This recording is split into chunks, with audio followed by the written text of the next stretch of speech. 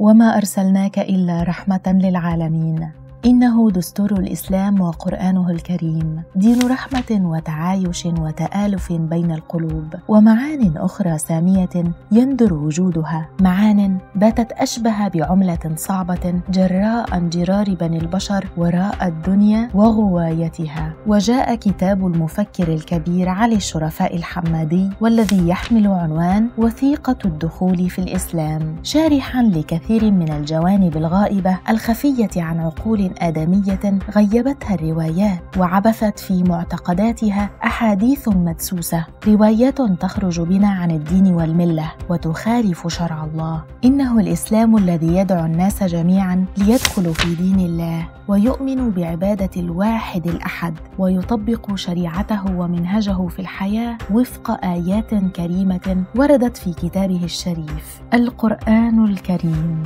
لا إكراه في الدين. جملة عابرة لكنها تحمل قيما غالية عميقة الأثر رصينة الفكر والتدبير. يبين علي الشرفاء الحمادي في كتابه وثيقة دخول الإسلام معانيها الراقية التي تضمن حرية الاعتقاد في الأديان وأن الله لم يبعث رسوله الكريم ليكون وكيلا عنه في الأرض بل أمره أن يترك للناس حرية الاعتقاد والعبادة وألا يفرض عليهم شيئا. الله وحده هو الذي يحكم بين الناس يوم القيامة. وثيقة دخول الإسلام لعلي الشرفاء الحمادي تغوص في شرح وتفسير تعاليم غيبتها عنا السنين.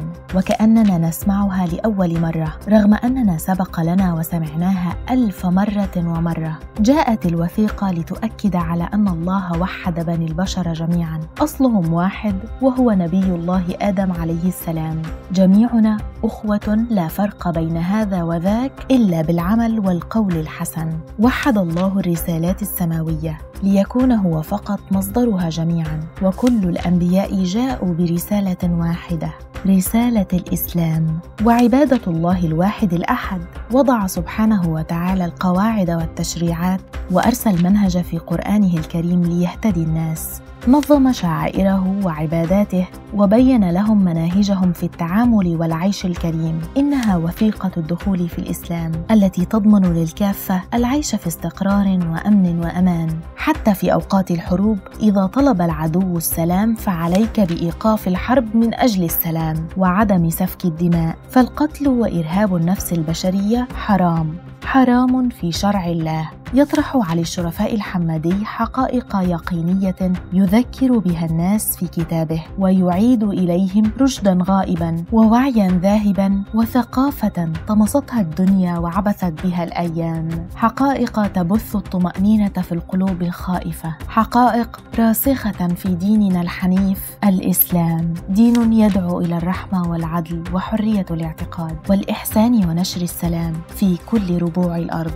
يدعو لتحقيق تحقيق الأمن والاستقرار دون خوف أو فزع أو إرهاب لتبقى الحياة كريمة لكل أفراد المجتمع دون تمييز لدين أو عقيدة أو لون أو هوية. حقائق تذكر بأن الغيب لا يعلمه إلا الله. فجاء كلامه كاشفا للغيبات وحامي المسلمين من السقوط في خداع وتضليل يروجه أصحاب الدجل والخرافات. حقائق تذكر بأن النبي صلى الله عليه وسلم بعث ليتمم مكارم الأخلاق لدى الناس وعلى كل مسلم أن يتبع تعاليمه في السلوك الإنساني الصحيح متواضعا يفشي السلام. يقول الحق يؤدي الأمانة يأمر بالعدل ينهى عن الفحشاء يحسن إلى جاره يعفو عن الناس. قال تعالى في قرآنه الكريم بسم الله الرحمن الرحيم.